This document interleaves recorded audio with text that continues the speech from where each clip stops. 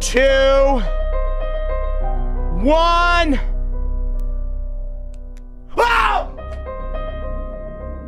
Can someone edit that to an, to an explosion happening?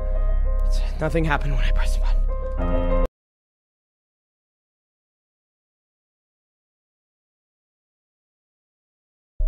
Two, one.